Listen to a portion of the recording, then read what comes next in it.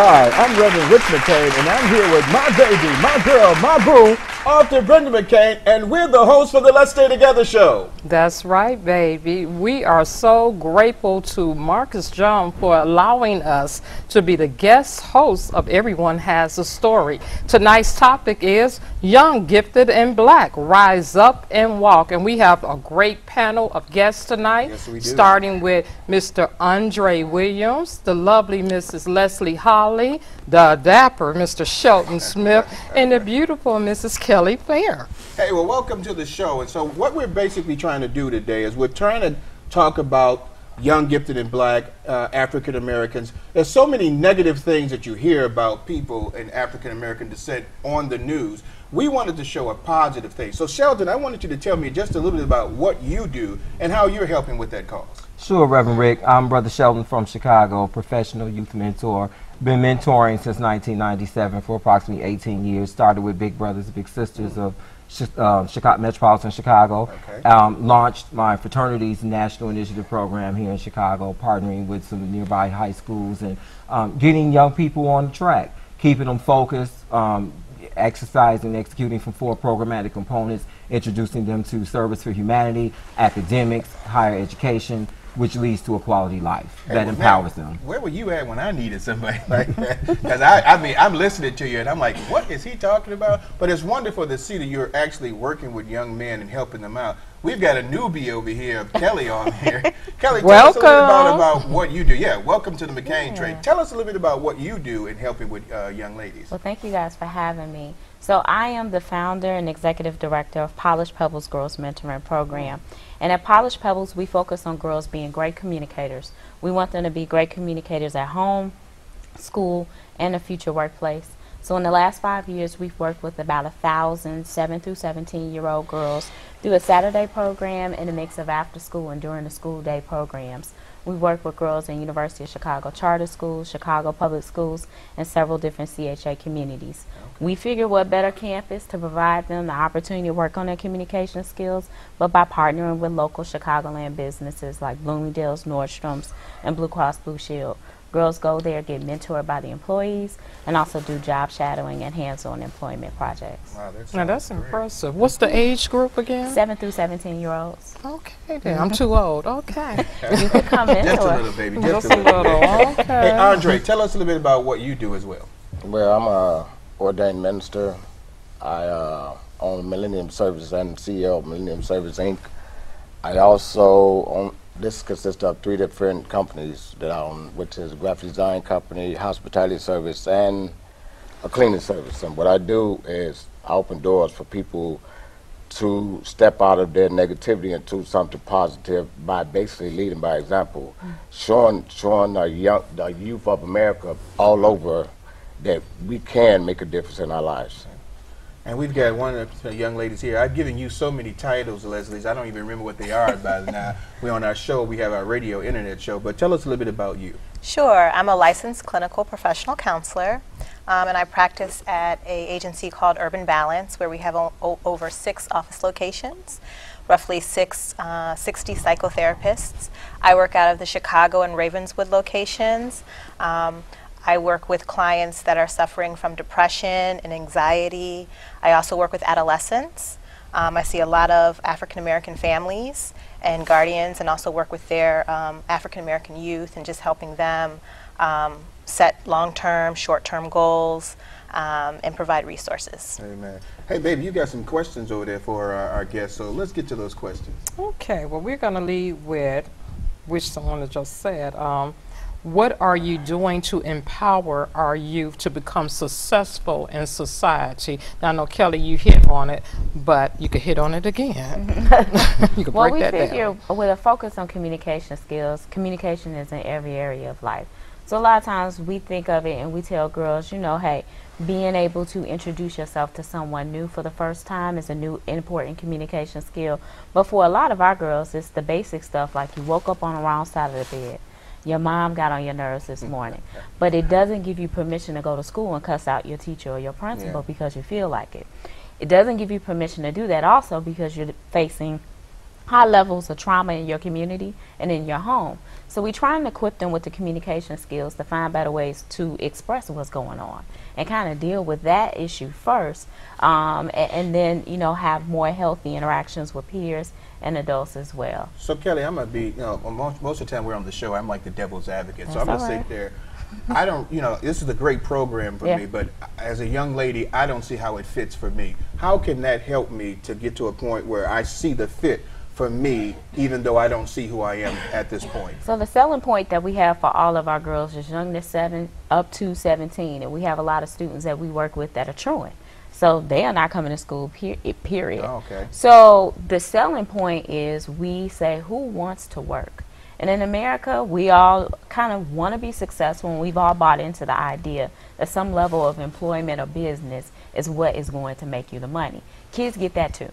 And so when we kind of flip it and say, look, if you want to work and you want an after school job, you want a summer job, you want to eventually get there, communication skills are your way to success. And so it kind of helps them get the buy in, and we're preparing them for their first day of work. Back in the 80s, they used to have take your daughters to work day. That mm-hmm. stopped. And the reality is, a lot of our girls don't necessarily have a parent that is capable of taking them to work to kind of see and expose them to careers. So that whole getting ready for work thing for a lot of our kids, even if they're seven or the girls that don't come to school, that's that buying in point that says, all right, let me give this communication thing a try. Yeah. Mm-hmm. So, uh, Sheldon, uh, you know, for young men who are out there that are trying to seek uh, a better life, but society is basically always showing them a negative light, how do you help them see a positive side of who they are? branding and imaging. I think that everyone has to first come, come to understand that they are a brand. When you go out and you buy Sean John, when you buy Versace, when you buy Gucci, you're buying somebody's brand. It's a brand name. That's someone's name. Your name is a brand and you make that work for you. Through academic achievement and scholastic achievement and those accomplishments, our young people are setting themselves up for success everybody doesn't learn the same in an educational and an academic environment, but everybody will have a brand. Right. Whether you go to a four-year university such as Morehouse, such as Yale, such as Harvard, or whether you go to a vocational school and take up a trade, there's something out there for you. And once you are receptive to going out and you're courageous enough to go out and conquer what's in store for you, then your brand becomes that image that you want to be recognized for. It's just like, you know, a lot of African Americans, uh, males predominantly, are profiled. If they wear a hoodie, if they have sagging pants on, if they have Timberlands on, these young guys are profiled. If they wear white tees, if they wear wife beaters. Just because you see a young boy or a young man of color, it doesn't mean that he's a threat to society. That could just be his down day. I can go to work. I work in a, a white collar environment. I go to work every day. I work with stockbrokers on a day to day basis. And so I have seen some of the wealthiest come across my feet. But when I'm at home, if I'm in the Roseland community in which I grew up, if I have on a Bears baseball cap, a Bulls throwback, and I'm outside in my Rocawear jeans and my boots, I'm just casual. And that's okay. Yeah. It's not for you to say what's going in the on with the inner me. But that happens a lot of times because what happens is with that branding, there's a positive branding, there's a negative branding. So I'm going to switch it over to Leslie. What happens when we have such of a negative uh, branding about who we are, and even though we're trying to walk positive, we get so many things against negative about us. How do we reverse that switch or that thought process of people because of what they see already, the vision of who we are, and they don't know who we are? Yeah, I think it's important to note that we've got some, I mean, you guys have some lovely guests here talking about all the things that they're doing, contributing and helping the youth. Um, it's important to note it only takes one person, research shows it only takes one person to work with a child, to um, take that time to mentor a child, um, to influence that child, to create change mm-hmm. for that person, for that child. It only takes one person. Yeah, and I like that. It um, only takes one person. And I guess for most of the people out there that are listening, that you're there to understand that it, you don't need a you don't need a village.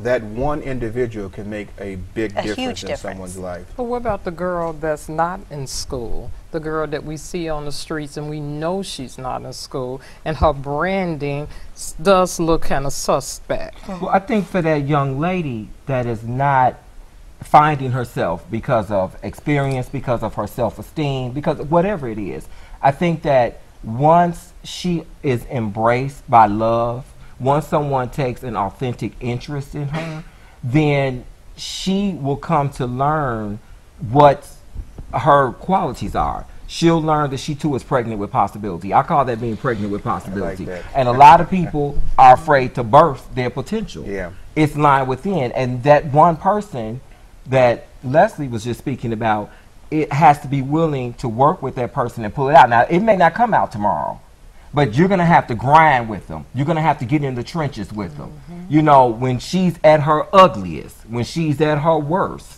you know, when she's abusive to herself, Yeah. then you're going to have to be that resource for her. You're going to have to intercede for her. You're going to have to pray for her. And you're going to have to help her get to the next level. Yeah.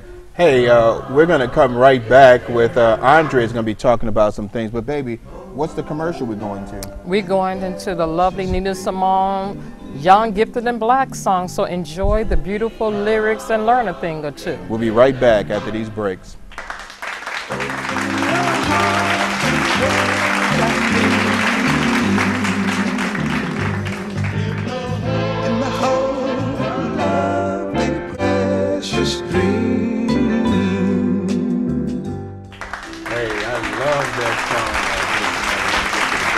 Remember when I was younger, we had to learn that in uh, grammar school, and you had to know all the words, which was frightening. Rick, you know the then I lyrics. couldn't sing. I don't know the lyrics anymore now. but at Give that me your then, I best could- John Legend right couldn't- now. John Legend. I, I gotta think of a John Legend song. Just sing, baby, You know, just but sing. it- it- this is not my audition time so right now. but we're gonna go back to Kelly because you were saying something about what uh, Sheldon has said. So add on to that. Yeah, I, I thought Sheldon was making a great point about there's young women out here and we look at the exterior. But he makes a great point that she is pregnant with possibilities. But we're looking at the exterior for a variety of reasons. And we've created within our community also biases. Yeah. So we look at her and say, mm, look at that girl, look how she dressed. Oh, she got a nasty attitude. We get caught up with so much of what we're seeing on TV and the media and the representation of young black girls and young black women. So I think we have to really, when we're talking about our young people, is have a real conversation about what kind of barriers and masks and kind of perceptions and judgments do we need to peel off as the adults in That's our good. community. Yeah, that's true. So, you know, I can't keep looking at her as this negative thing and then talk about what she should be doing. So it, it's an opportunity where we really have to talk about recruitment of African American adults as mentors in our community, whether it be in organized programs, whether it be encouraging them to do it individually. But regardless, whatever the recruitment has to involve training Yeah. because there's different sectors and people in our community who still live in Roseland, like I do, and then those who don't. And so they don't know why she's doing what she's doing, Yeah. why she's wearing what she's wearing, why she's saying. And so we have to make sure that we're educating folks. so Which is basically really almost like an, uh, an interpersonal profiling each other. We're already looking at the individual saying something negative because of what Mm-hmm. we perceive before we even get a chance to have the person speak to us and find out who they are. Absolutely. That's true. Baby, you got someone to say? Yeah, um, like you said, we are perceiving so many things on people. Like I'm a product of Roseland as well, and great fruit come out of Roseland and Englewood, but we do tagline. hey, we know it comes out of that area, but we tagline it because it's oh that's Englewood or that's Phoenix or that's Rose and nothing good come out of that. Well, we're a product of those areas, those communities, and we have people who actually worked with us. And you shocked me because I, I do remember back in the 80s, it was parents taking their children to mm-hmm. school. I didn't Yeah. know that stopped. And that's kind of sad because a lot of things that stopped with the educational program messed up so many things for our youth. And that leads me up to my next question. How can that change a little bit? Because, I mean, they cut out so many things. I'm not downing the system, but we don't have the, the, the Sheldon out there to help the young men over here and the young ladies. We don't have Kelly. We don't have Andre with his backstory to go, you know, every day and help young people. What can we do in the education system or suggest to them? that you need to beef this up. We need to bring this back into the curriculum. You know, I think there is a, um, a huge divide, unfortunately, um, between the school system and the communities, oftentimes, and that we need to bridge that, um, you know, uh, we need to help bring those communities together, bring the school system and the community at large together. Parents, um, the, the communities, they have to get involved in the schools. Yeah. They have to push for change. They have to join the local school council. They have to go to parent teacher conferences. They have to find out what programs are in their communities. They have to come together and harness their resources. We have to do that as a community. And I think, um, unfortunately, you know, there's, there's some great schools in Chicago, there's some horrible schools in Chicago. I think um, it's really up to us um, as a community to come together and really push for some change and use our resources that we already have and, and, and come together and help each other. Kelly, you want to add I think something? one of the things that's important too when we talk about our communities, we're talking about the youth and then we talk about the things that parents need to be doing. I think now, from my time and my experience, parents need training. That we're talking about a generation of young people who have not been loved and nurtured properly, but that's because their parents have not been loved and nurtured properly. So we're expecting something from a generation of parents who, quite frankly, really don't know what that looks like. Yeah. So I think the advocacy definitely has to come from the parents in the community learning how to advocate, but somebody got to teach them. So one of the things I think is important in the African American community is you grew up in Roseland, you went to school in the hundreds. Don't forget that. Just because you moved out does not mean that that is no longer a part of your community. Yeah. When I do calls and I ask for guest speakers sometimes, and we put some of the programs up in schools that they can go to, I can't get somebody to come to the far southeast side. Yeah. You know, so one time on Facebook, I said, wait a minute. you grew up in the hundreds. Did you forget that? Yeah. We sat in school next to each other. That's the same community that molded and made you. So mm-hmm. you have a responsibility to go back and mold and make those kids. Well, what basically what happens, in a lot of times, is that we we want to get away from a society mm-hmm. of, of what we think is corrupt, of negative. So once we get away from it, we just want to leave ourselves. It's almost like the crab in the barrel. We don't mm-hmm. want to bring anybody out. We just want to get out. And a lot of times, when we get out of a situation, we don't want to go back into it. I'm, I was going to say something. Whatever happened to PTA? I don't know if most of y'all Right, I was going to bring was. that up. There was always know. the PTA, the PTO, and I, I I think also um, to kind of speak to what Kelly is saying, I don't know that the importance of family structure is there Mm-hmm. because when we were growing up in our generation, our parents were very much aware of everything we did, Everything. from school to where you were in the Right. neighborhood, what you were involved in in the community, day camp, all of it. And you now had to be back when those lights came on exactly, off man. and and so I think now there are you know parents that you know unfortunately parenting doesn't come with instructions. Yeah. And so I'm going to give them the benefit of the doubt and say they're doing as best they can. But I think that there's a generation, if we speak truth to power, that came from an era where there was a high rate of drug existence and mm-hmm. implementation primarily into minority communities. Yeah. Not only communities of color, because I'm not going to sit on a panel and say that all black people are led down this this, this path of destruction. But there was a time where a, we're now looking at a generation that evolved from that.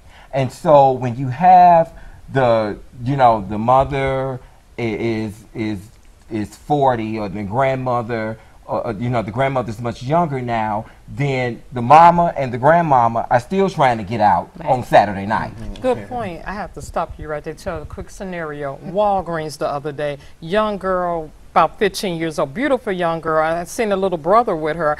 I thought was her little brother. I said, "Oh, this little boy is so cute. This your little brother?" And she said, "No, it's my son." And I'm thinking, "He's how old?" And when she told me, I'm doing the math like, "You had this baby at 13." Right, so So, you grandparents- 13, your mother probably not even 30. So grandparents are not that much older than the child's parent. And Mm-hmm. so they're still at the same place in their lives. Yeah. So they're basically living the same lives. We've all heard that the man dated the mama, now he dating the daughter. Yeah. So I mean we have because you're not that far in age. And so Mm-hmm. you're running in the same path. You're Yeah. likely your paths are gonna cross at some Yes. point. And so we don't have those fundamental things that we can say that we took for granted as far as the homework, as far as young people being validated and confirmed in their home. And then it doesn't matter what society thinks Yeah. of you. And then I have a question. We talk about looking at the exterior, like Kelly said. Are we as guilty as the white police officer that profiled the young man? Because we're looking at an mm. exterior Yeah. and we're making a judgment. We definitely are just about as guilty. We don't want to admit that we're about that Oh, guilty, no. but we are because we are just as you know racial to each other or profiling each other as anyone else. But I want to go back. I'm, Andre, we're going to have you. Uh, Andre has a story that I want him to tell, so I'm going to have Andre tell it. But I want to go to Leslie for a second. We were just talking about some of our kids are having kids at young age, and then the grandmama might be 30, and the grand grandmama is 45. That didn't happen back in my day in the 60s or the 70s. I'm trying to figure out what happened where all of a sudden now the stereotypical mother fear or father fear there that used to scare you from even doing anything. What had what changed now where that doesn't seem to be a concern anymore? Kids are having kids at younger ages. Back then, you were afraid to even think about having a child. Mm-hmm. You know, but you know now it's like it's just common commonplace. People are kids are having kids at an earlier age, early and earlier. Well, I definitely think, you know, to your point, some of the things that we were talking about, about systems being put into place, um, that has really, I, I think, pulled our communities apart, the drugs. Um, but, you know, teenage pregnancy as well is, um, you know, is very prevalent. Um, and I think what we're talking about is lack of resources. And when we continue this cycle, um, we we kind of cut ourselves off um, for you know higher education to gain more resources to then be able to help our communities and then when we do get out of the community like you were saying we leave you know i mean once we once we uh, graduate and you know maybe we've made it out we don't come back and we don't take the resources that we've gotten and bring them back to our communities. Yeah. And so that's, I think, um, something that, that we really need to address. You know, this issue with teenage pregnancy, this issue with, um, you know, fathers not being in the home, uh, no, no co-parenting. Um, many children are grown up today without any kind of father figures in the home, and then once they have children of their own, they don't really understand, you know, what a healthy family dynamic looks There's no like. value I'm going to have pass to stop you for a second because we're going to have to go to a commercial break on a second. So I need to go to Andre when we come back. Hey, I hope you're enjoying the show. Uh, everyone has a story. This is the Let's Stay Together show. We'll be right back after these breaks.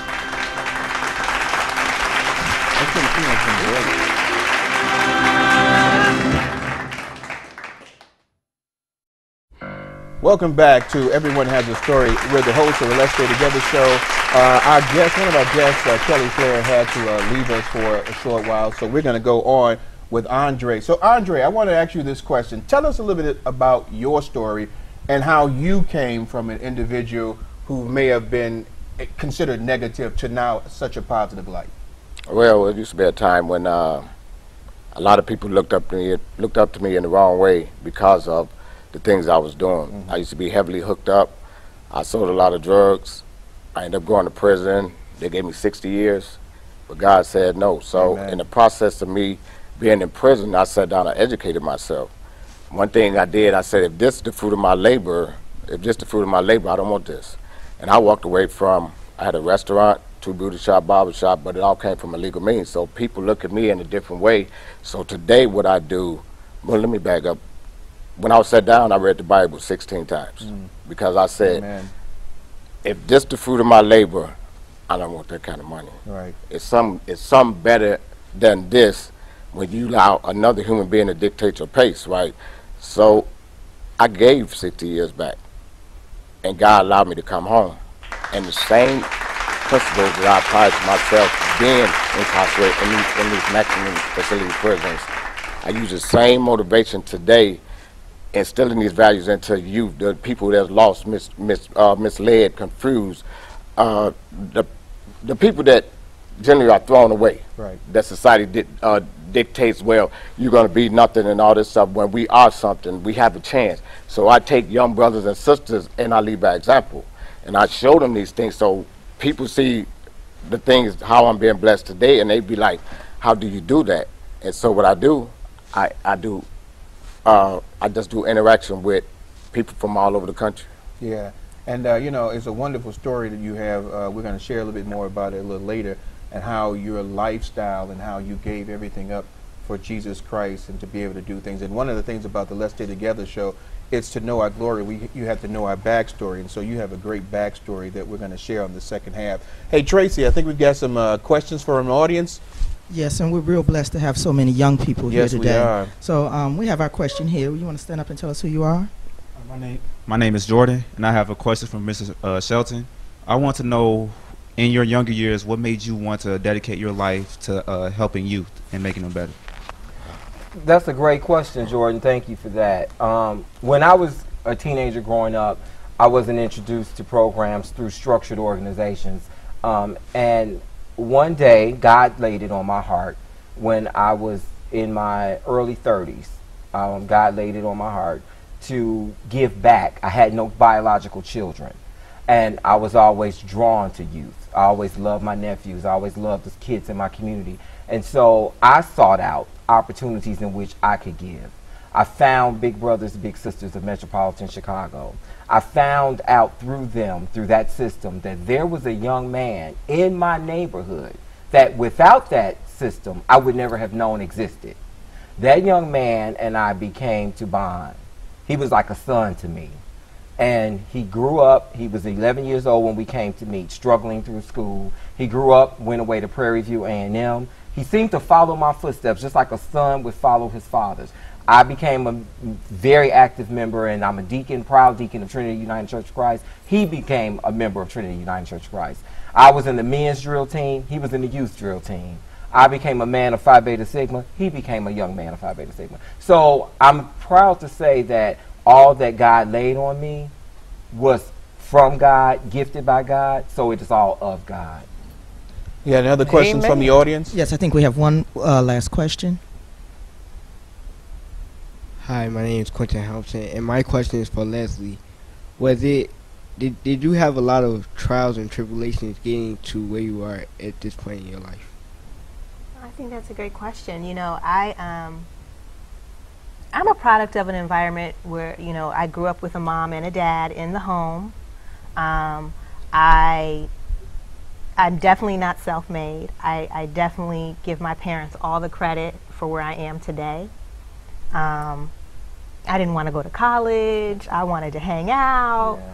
but I had expectations put on me, and those expectations were that I was going to go to college, that I was going to get, you know, decent enough grades to go to college, that I was going to have a job. I had a job from 15 on. Um, so I had expectations put on me and a lot of discipline put in me, um, a lot of resources poured into me. And so, you know, I can definitely speak to um, the benefits of that.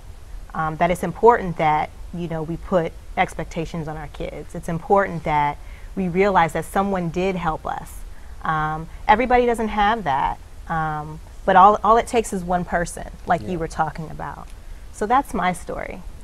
Hey, we thank you very much. We thank you all for being the guests on there. We had uh, our judge uh, who wasn't able to make it uh, here because he got, you know, called away. And so we appreciate that. Hey, we hope you've enjoyed Everyone Has a Story. This is the Let's Stay Together show. I'm your host, Reverend Rick McCain, along with my baby, my girl, my boo, Author Brenda McCain. We'll be seeing you real soon. Thank you for listening to Everyone Has a Story.